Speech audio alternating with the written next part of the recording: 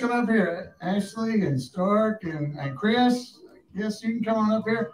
And crook number crook number two, he can come up here. He is currently portraying Barney today, but he was crook number two in the. Uh, go ahead and sit down there, uh, uh, Barn. Uh, come on, Barney. You can sit down up here too. You? I'm just going to stand up because I'm going to help answer and uh, do the questions and stuff. All right, folks. Well, we're really glad to have you here with us today. Uh, have you uh, have anybody got any questions about the movie? We got several stories we can tell. Has anybody got a question? All right, we're over here. What's it? So where will we be filming the series? Do you want to answer that? Oh, okay. We will be filming in Indiana, North Carolina, and Los Angeles. Again, the same locations that we used last time. Yeah. I know, we're really excited. We're probably even filming more in, in Indiana this time um, because they have this new uh, rebate that they're offering filmmakers. If you make a movie in Indiana, uh, any dollars you spend in Indiana, uh, you get about 30% rebate back. So it benefits us to shoot here as much as possible. So we're looking for, like I have an apartment complex in the in the series the exterior is going to be shot in LA because it has to look kind of LA, but the interior of the car, apartment complex, we're looking for an apartment complex to double for that. You got one? I don't Oh. have that, but I will say, um, I'm from Newcastle, which is about forty-five miles east of here. And they have Mayberry Fest every year. Oh, do they? But Newcastle pretty much is Mayberry. Uh, They used to have used Mayberry to. Fest. So she's from Newcastle, Indiana. They that's where Mayberry in the Midwest originated. But they stopped Yeah. having it and then it Steve moved. Alford. Steve Alford, yeah, he's from there. So yeah, so they that's where we started doing Mayberry in the Midwest. I don't even know what year it was. It was a long time ago. But uh, we did it there, and then they stopped doing it, and then they picked it up in Danville, and now Danville has kind of stopped doing it as well. So we're looking for a new home for Mayberry in the Midwest. Uh, that's kind of what Mayberry Fest is based on. That and Mayberry Day is kind of a comp- uh, compilation of. Yeah. Uh, so a compilation. Thank you for the right word. I didn't introduce everybody, so let's. We got Stark Howell over here. He's our director and writer of Mayberry Man. We got Ashley Elaine. She's Kate, obviously in the movie. If you don't figure that out, you got a really bad memory. now this is uh this is Terry Varvel. His real claim to fame is Brett, the lead actor, is his nephew. But uh, it, you know, all the looks came from Terry. I think I'm not sure, but he No, was. a family resemblance. So in the movie, he was crook number two. So if you saw that he was uh, still in that car that was orange. It had a one on it that I have no idea what car that really was Yeah. because that would be a trademark problem. But uh, they were still in the car, so he was the uh, main guy out there still in the car.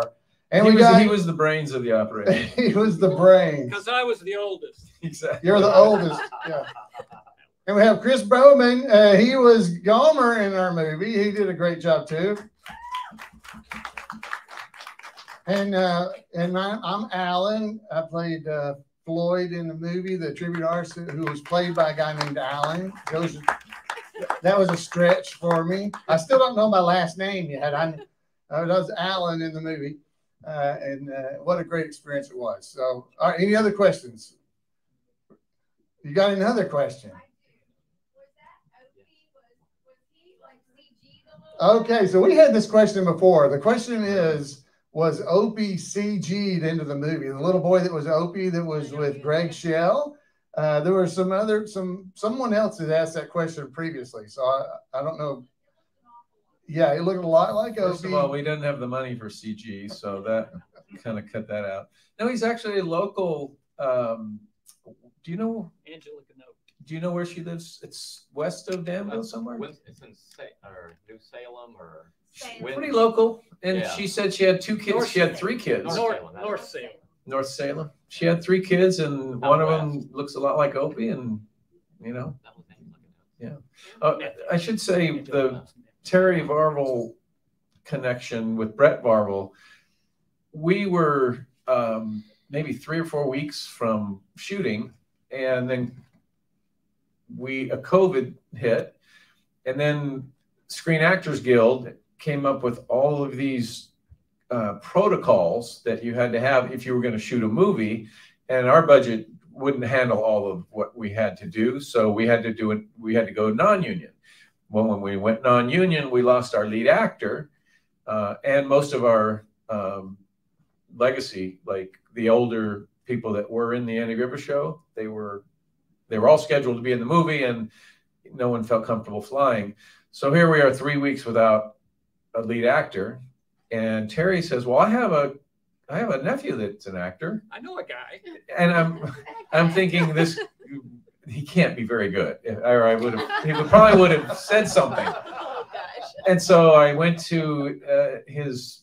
Uh, I, I guess I don't remember what I saw. Maybe YouTube clips of him, and I, I said he looks kind of like he could be a Chris Stone. And then I saw him acting. It's like you know he's a pretty good actor, and he came in and just nailed it better than the original guy we had cast. And he was like under our noses, and Terry didn't say a word about it.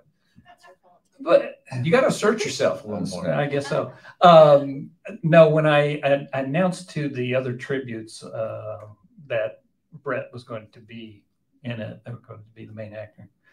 Christy McClendon, who plays the fun girls in the movie, she responded with "hubba hubba." With the, I posted a picture of him. She said "hubba hubba," and then she said, "Well, we know who got all the looks in the family." I said, I, "I'm hurt by that. I was very hurt." Uh, we got a question way up there. Where's the house that you guys filmed where it's like home with all the tropical plants outside? Okay, so the question was, where was the, where was Chris Stone's house that we filmed with all the tropical plants and everything outside? Where was that? So, I should let Ally ask, ask answer that question, but that's on North Meridian Street. It's the old governor's mansion. But we had a greens company come in and plant, put all of the, they didn't plant them, but they were all in pots. We, we had to make it look like Southern California. And so we had them bring in anything that looked like it would be from that. And it, and it actually looks like it, sh- it could be Beverly Hills. Um, The, the, the buildings look relatively the same. It's the, um, the foliage that we had to make look like California. And then the interior is the what mansion is it? Perry Mansion. I don't know if you're familiar with that. I wasn't, but actually, uh, actually, Ali also found that for us, and that is a beautiful um, piece of architecture on the inside. And and then the lady that lived there happens to be an interior designer, so she had it designed. I mean, I didn't have to. We had no prop department, so it wasn't going to happen anyway. So we were very fortunate to have a house that was fully furnished with some of the best pieces of art. I don't even, I mean, they're original pieces and it, I couldn't have done better if I had called a set decorator and said, "Decor- decorate my set. So hats off to Ally for that. and- you, and could you tell it was two different houses? In other words, uh, I, if I, if I didn't know, I forget sometimes when I'm watching the movie, oh yeah, that's two different, they're not even the same house. The interior and the exterior are separate. One question I get asked a lot is, so what did you think this time you saw it? I actually haven't seen my own movie in 11 months because I saw it about 100 times beforehand. And, and I did see some things that I hadn't seen. One thing I saw, where's Jeff Barry? I saw Jeff hiding behind a car. Uh, do you know that scene I'm talking about? No, when they are walking and talking in that long shot, and you can see right, right down the street, and she says, "I'm sorry, I guess Mayberry Fest is kind of a big deal around here. You're, I can see you hunched in the back window, you know, through the back window of a car, and I never saw that before. So, the next time you watch it on the small screen, uh, it's that long, it's that big wide shot where they're walking in the in the old cars in there, and they're coming down the sidewalk. And Way in the background, there's Jeff going, "Are they shooting yet?" I've never seen that. I know. I'm pretty sure that was you at the end of that street, right? Tra- doing traffic control. Alan yeah. Yeah. That's what it was. All right, so we have another question right here. What you got? Um, I actually live above the garage at the house on Meridian Street. Oh, you do? That's So right. I, when you guys were all there filming, it was so much fun and everyone was so nice. Uh, The fun girls were really nice. I've got, I've got a nice picture of a big red lip mark on my face from I bet. And that was during COVID even. Yeah. That's how, I mean, Yeah. that's how bold they were. it was just really fun and everybody was so accommodating and it just, you know, it's exciting to see something like that, you know, at your own place. Yeah. Um, I did want to ask Stark, I noticed your name was on some of the credits for the songwriting. Is that Yeah. you do a lot? No, but I have very uh, talented friends. So one of my best friend, well, my probably my best friend, he's a songwriter and a musician. And I said, we need to, I need to come up with songs because we don't have the budget to hire someone to do it. So I said, how about you and me? We'll write some songs. And it's about 80% him and me, you know, giving him my feedback. And I am actually uh, singing back background vocals on several cuts. I mean, it's pretty much. I had another friend who was a composer who has his own studio. We just went in. The three of us went in there and we just created all the music except for Braca Valley, of course. Um, so yeah, it's like you want to sing harmony on this. Okay, as long as you bury me in there somewhere. So, so you're like Oates of Hall and Oates. Um, not even oats. He's, he's Oates. I'm like, no, not even the oats. Um, but but yeah, we had to uh, come up with all the different things, and I would call Baraka Valley every once in a while and say, you know, we need a car, a really annoying banjo for the inside of Doug's car. Can you whip something up for us? They turn it around, and you know, now everybody gets the uh, publishing or the the songwriting royalty credits, which they're probably peanuts, but. Um, yeah, that we just kind of had to do it all. Um, there's, and I think we'll end up doing it all again because I'm sure our budget's not going to, you know, be big enough to to hire an orchestra. But uh, Mayberryman.com. Yeah, mayberryman.com, help us out. That's right. That was a key right there. Uh, so uh, we got any other questions right there? So the question is, what kind of places are we looking for in- to film in Indianapolis? the script's about 85% done. So uh, I I don't know every place, but I know that we're looking for like a auto parts store. Um, we're looking for an apartment. We're looking for a restaurant, which I think we're gonna I think we're gonna use right next to the Royal Theater. They have that outdoor cafe area. Uh, we have a we have a shot there. Um, we're going to shoot kind of in and around the square, whatever we can use in there. Uh, what else do we have? Can you think, Court? You know, the theater, obviously, interior of the theater, exterior of the theater, uh, the streets, the storefronts, The apartment, the apartment complex is. the carpet complexes. Oh, um, the, we have a something called the Mayberry Township that we need an, interior for. So we're, we have to find that. If it were, if we had more time and more money, we'd probably we'd like to do that in a soundstage and just build the set, kind of like the old Andy Griffith show. But we don't have the time nor the money to do that. Um, the township is where I'm not gonna. I don't want to give too much of the story away, but uh, Alan, he's he kind of heads the Mayberry Township. That's his day job. So I just let you in on a little secret. Um, and it's sort a of promotion. I'm sort of trying to replicate the courthouse environment. So you had Andy sitting at the desk, and you got Barney kind of in his chair. I've kind of recreating that a little bit with having Floyd run the township. So he's behind the desk. And Barney, I'm not going to tell you what his job is, but he'll be hanging out there. And so that's kind of a, a reoccurring location. Um, I want to find something that has the doorway on the right, just so it feels like the courthouse. You know, I want windows on the corner, and I, whether we can find the exact thing, I don't know, but um, that's the idea for that. So that would be shot here. There's a lot of scenes there. Um, yeah, I can't think of any more right now. She's had a question for a long time up there. What, what you got up there? Um, what platform is the series coming out on? And how many roles for children are there in the series? So what platform is the Very series going to good be streaming question. on and how many roles for children are there? So she wanted to know. Well, I've heard a It's a good couple of, a lot of times that we need to get like kids in it. Yeah.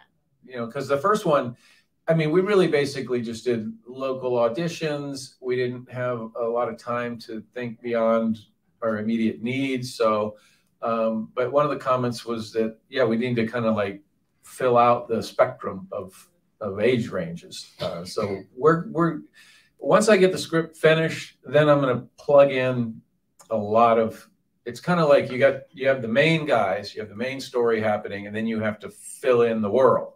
So at the filling in the world stage, we'll reach out and try to add people. And Screen test tomorrow.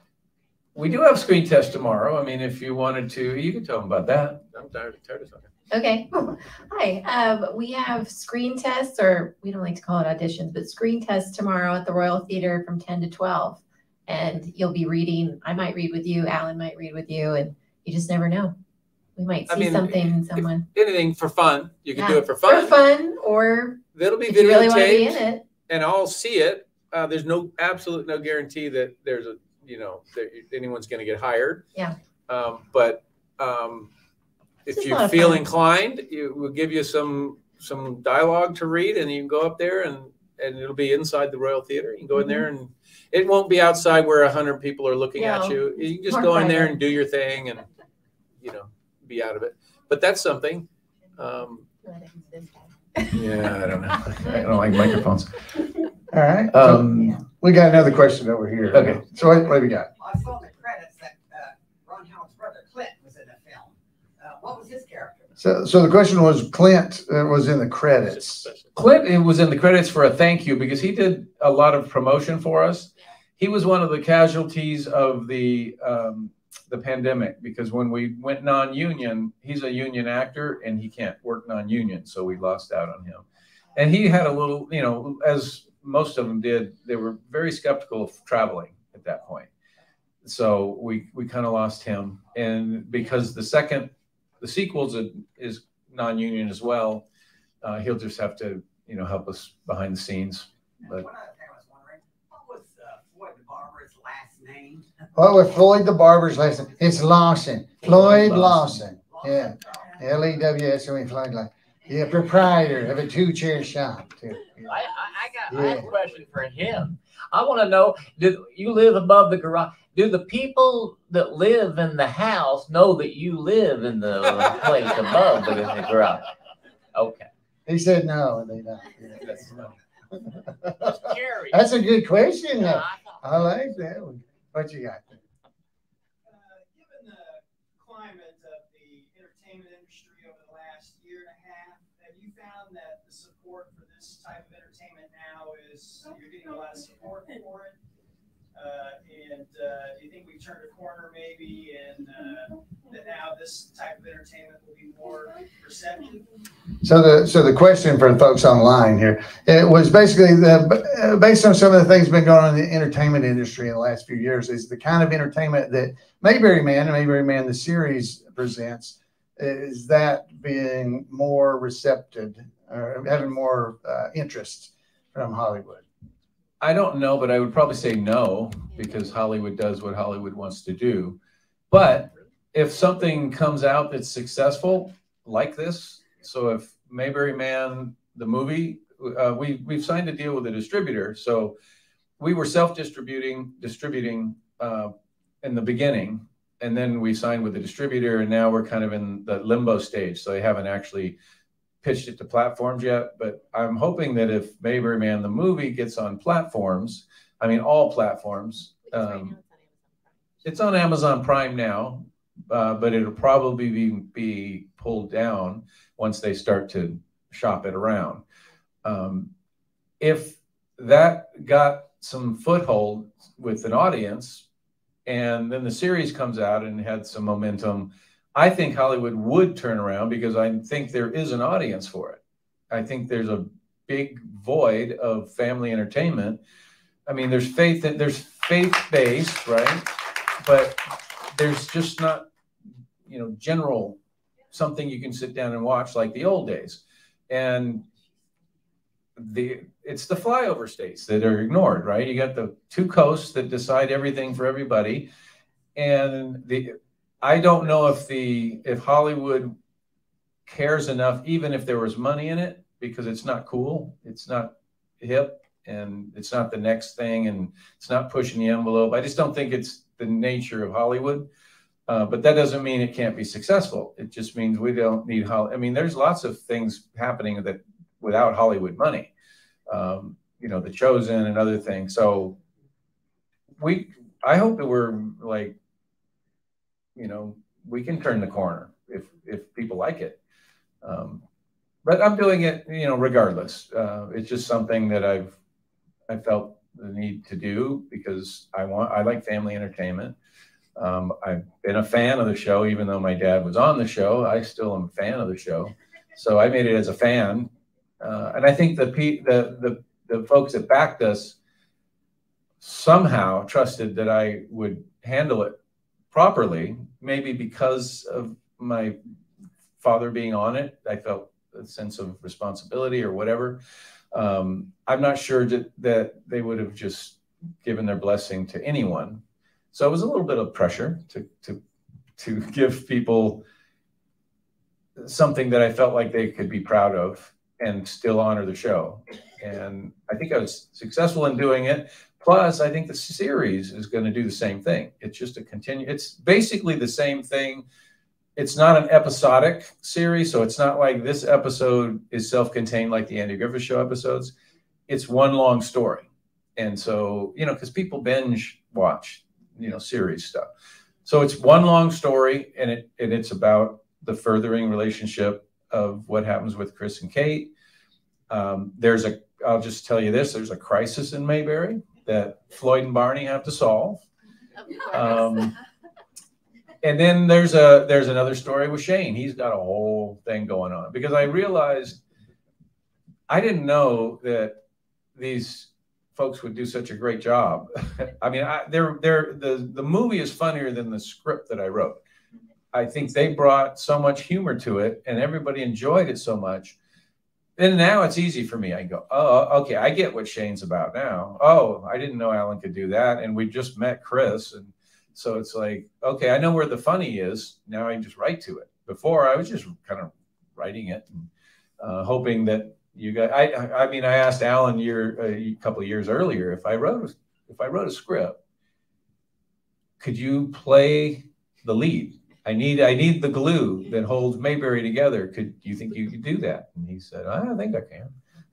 Yeah. and I was I mean I thought he could too, but I everyone says the same thing about Alan's performance. Wow, he's so natural and so likable.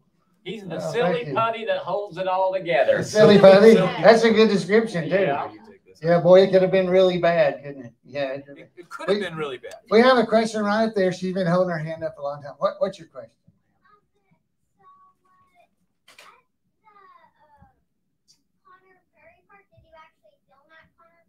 Yeah. Oh, so she's asking about the Conner Prairie part did we actually film it there? I, I want to answer a little bit of that. Yeah, and it was fun too. That was our night. It was a night shoot, and it was all at night, and uh, like all night, all night for two nights, and it was a lot of fun. And uh, his car. Yeah. Yeah, you tell about your. Yeah, yeah the, the car that's sitting outside here is the car that's in the movie. It's, it's the, it's real, real car. car. So yeah. I had to be there. I was there. Uh, well, I was there the one night they well, shot there. Well, it is a replica. It, yeah. It's wanna, really just a replica. You want to nip it start? It's not really the real car. Yeah. Um, but so I brought my car there. The sun was still up, was going down when I got there, and I had to put position it and everything. And then we didn't shoot that until like three o'clock, two o'clock in the morning, and it was very cold. It was very cold. It's great acting by him and Rick and Brett because they were cold, and yet you couldn't tell. It was fine. We had a great time. When I read the script originally, that entire part of the movie where we're going there, as I was reading the script, I was enjoying the script. I got to that part and I'm like, oh my gosh, this is like an episode from the actual show of Barney and Andy and Floyd going somewhere. And I was just, uh, I got with Rick Roberts, who plays Barney in the series and in the movie.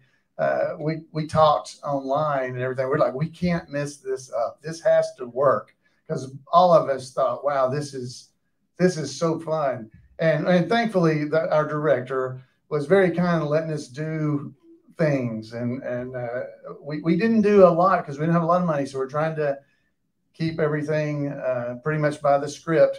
But there were a few things that we did, like that whole scene where we go in and it's like we're in there and we're in there and we duck down and then I start doing this. That wasn't actually that wasn't in the script, but I did it. And then they were like, "Yeah, do that. Keep doing that. That's good." So there were a lot of fun things that we were able to do uh, with that little adventure, and uh, yeah, that was that was my favorite part. It was Rick's favorite part, and uh, we're excited. We're we're looking forward to the series to get to do some more of that kind of stuff because we enjoyed that a lot. So, but it's a really beautiful place. We didn't have to uh, you know, it was it was already there. We didn't have to do anything. Now, now the second, you know, all of it's not there. Some of it's over at basically at Shane's house. When you see Shane behind his house, that's the same place where the uh, where the car was that he was stealing. You know, the, the car. It's the same house.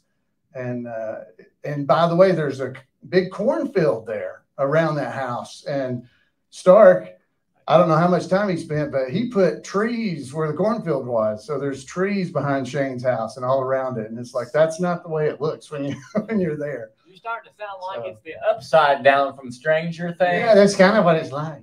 But we had a great time. It was uh, that whole scene that was really fun. So other questions? Okay.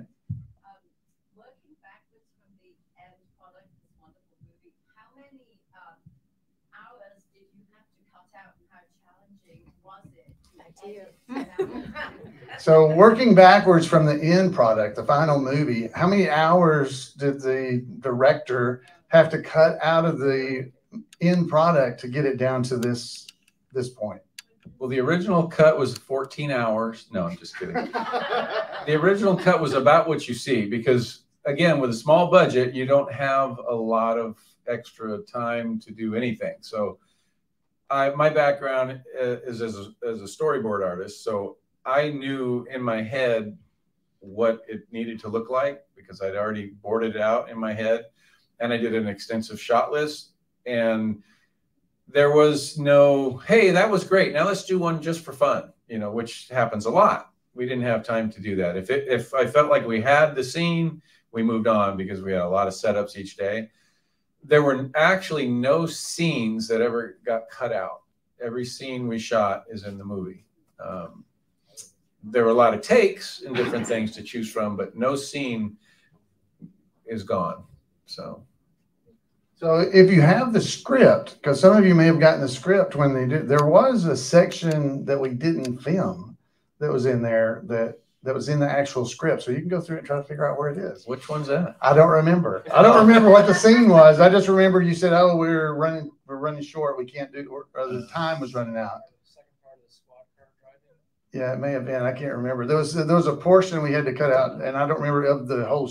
Uh, it was in the whole script. I don't remember what part it was. There was one scene we almost didn't shoot because I didn't think about it. I mean, it was just we overlooked it, and then Alan's like, "Hey, wait a minute, we're about ready to pack it up," and wait, wait a minute, we didn't do the note reading, and eh, if that would have been a disaster if we hadn't if, if it hadn't been for Alan, we didn't really have a a true script supervisor, which is the one person that's supposed to make sure we shoot everything.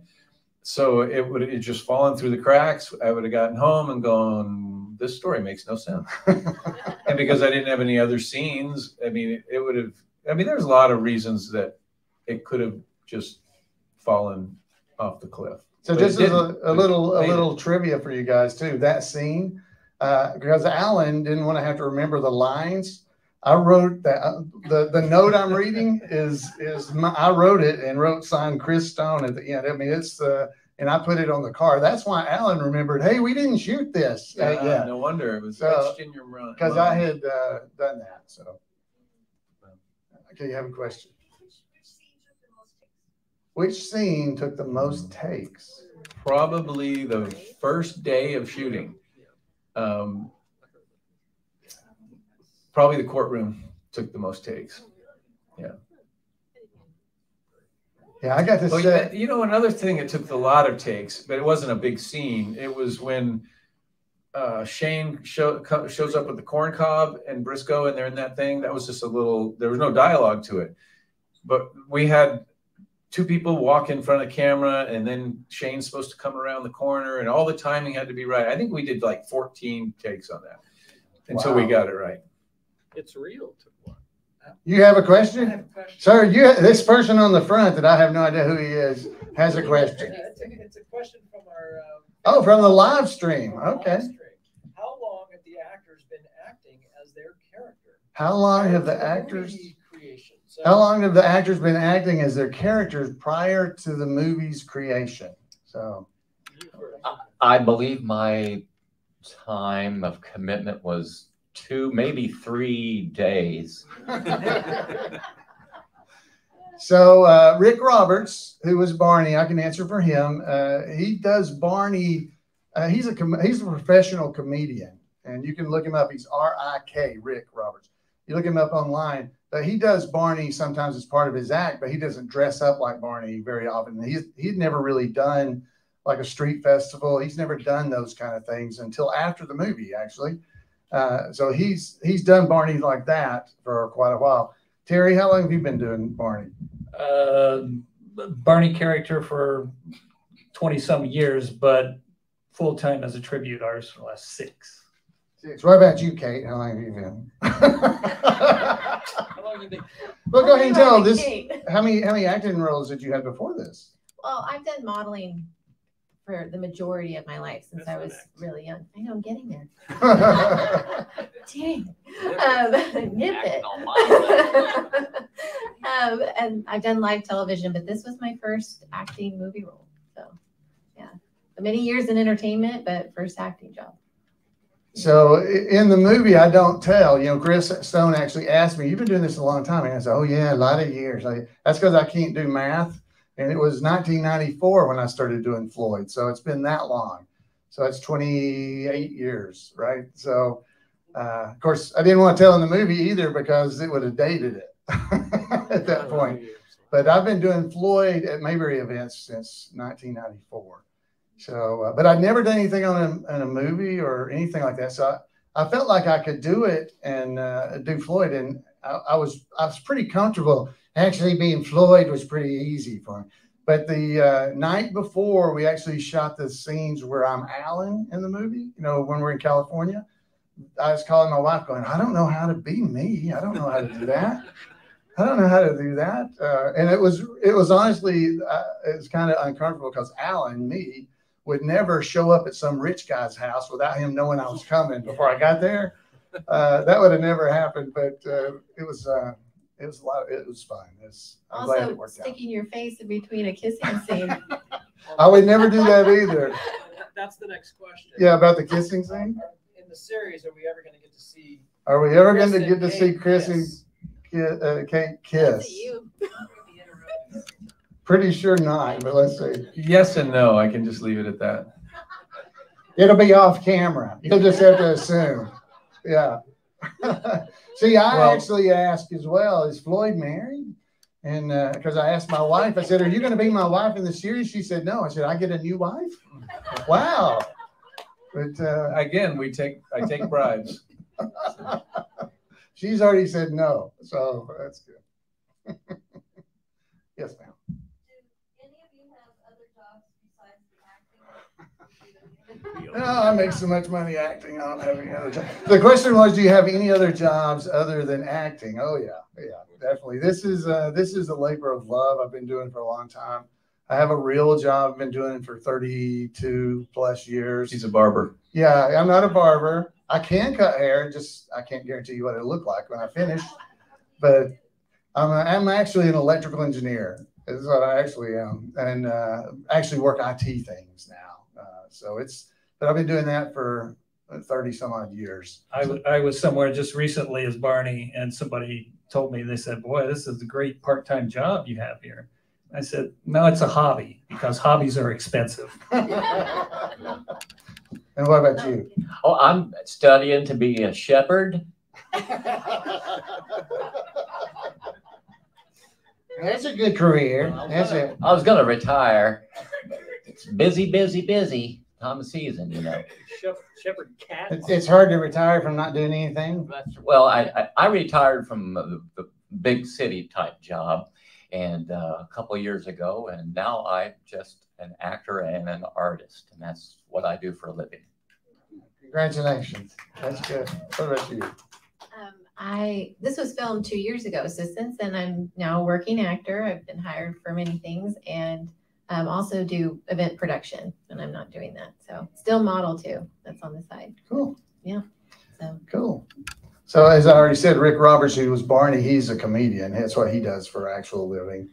And uh, I'm trying to think of the other. Brett actually, he acts and directs, and he actually makes movies. He makes Christian films, and he's uh, he's very good. They're very good. Uh, uh, name what's the name of the one that you were in with him? The last, the, the big one. The War Within. The War Within. It's uh, It's really good. yeah. Is Um, it about a war within?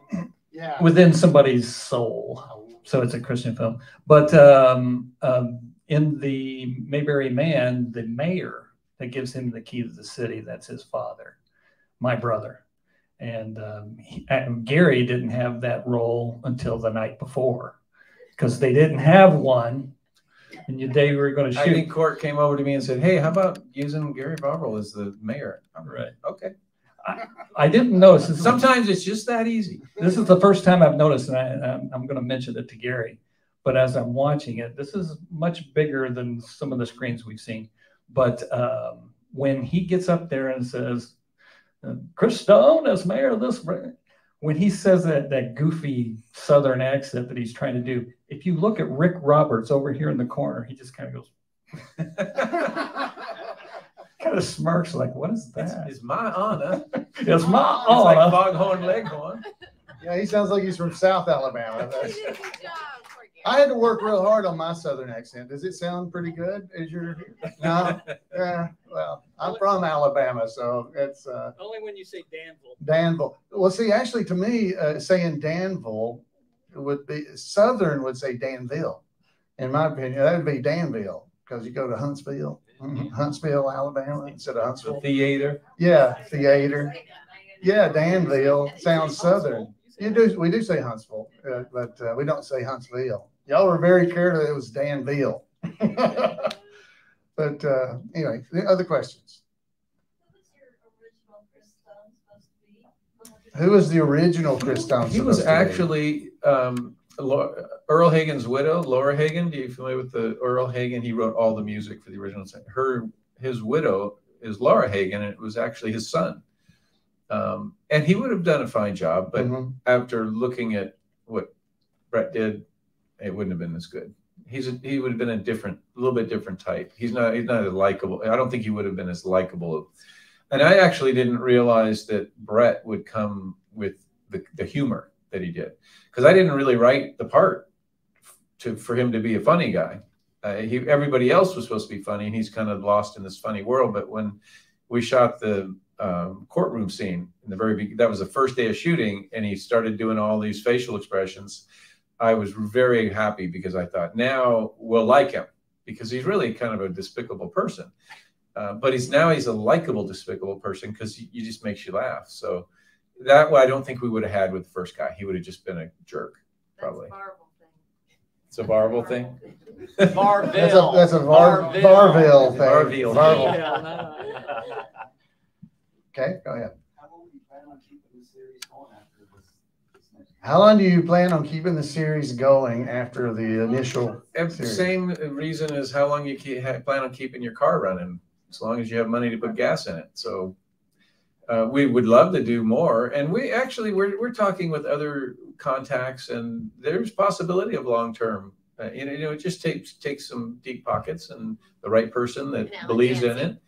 I mean, uh, we can't crowdfund for all this forever because I mean, even I think this time around is to me feels like a stretch to ask more of the fans. At some point, you know, we just need, you know, someone with a lot of money to say, I believe in what you're doing and I'll fund it. And but for now, we're going to do the series and do the is is the best job we can, keep the quality where it is. Hopefully, a little better, even because we'll have a little bit higher budget. Um, and maybe that would be, you know, looked at it by someone that wants to keep it going. Um, does anybody maybe can get lucky once and they might look at it because you, you know, I think people that know could probably pick out why it's low budget. They can probably there, there's scenes that make me cringe that I won't tell you because I don't want you to see them or I don't want you to notice. But I know how what the effect of a low budget has on it. And I think we can eliminate a lot of that in the series now because we'll have a little bit more of a crew. We were understaffed, everybody was overworked, and just, you know, I, I think we got very fortunate because it could have been a lot worse.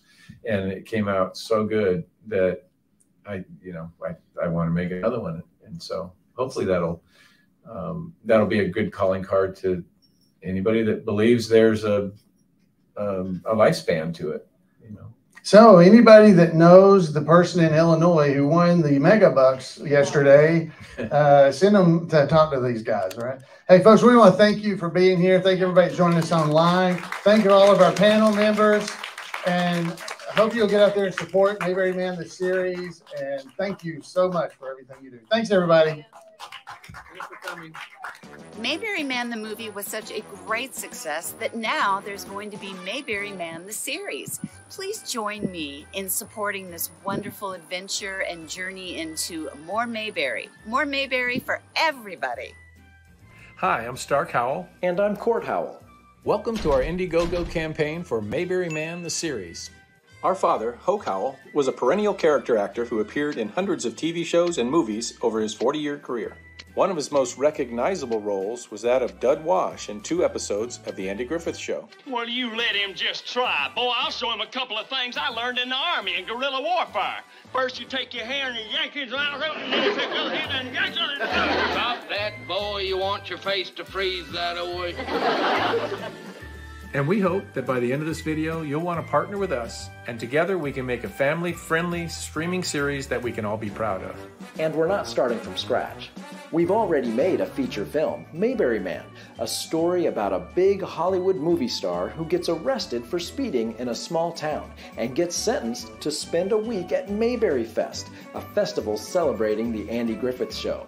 It was successfully crowdfunded in 2020 and released in 2021 in select theaters and on Amazon Prime. And we recently signed a global distribution deal to reach new audiences around the world.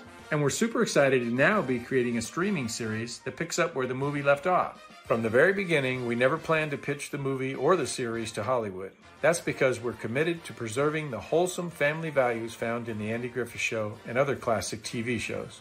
And quite frankly, we knew we would lose that control in Hollywood. So we've already started raising funds from private investors. But it will ultimately be up to you, the fans, to provide the balance of our production budget and determine the total number of episodes in season one.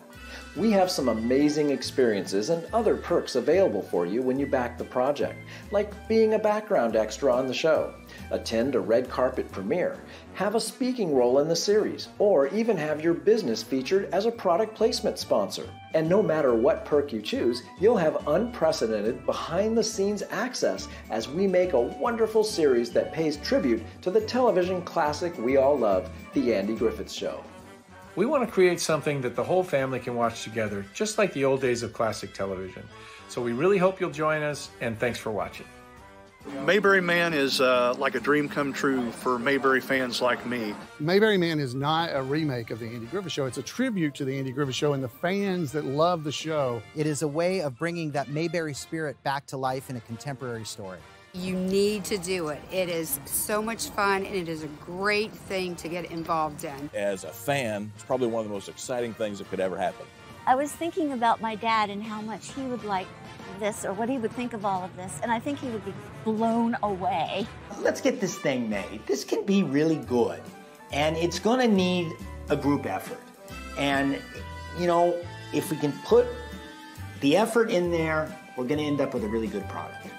So I, I guarantee this if you love the Andy Griffith Show, you're going to love Mayberry Man.